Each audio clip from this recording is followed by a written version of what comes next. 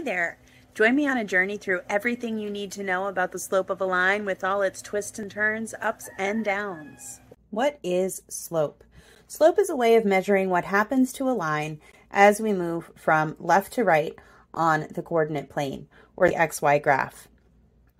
Slope can be calculated using an mm-hmm. equation y2 minus y1 over x2 minus x1 that equals slope, where x1, y1 and x2, y2 are both points on a graph.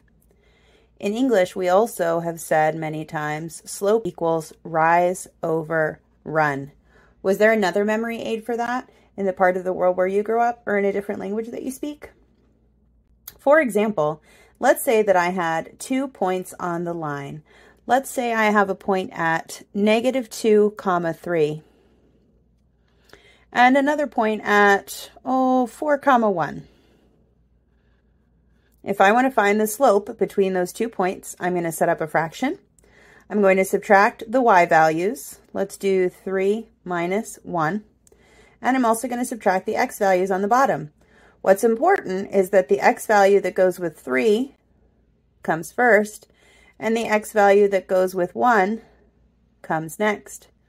So my slope is going to equal 2 over negative 6, or negative 1 third.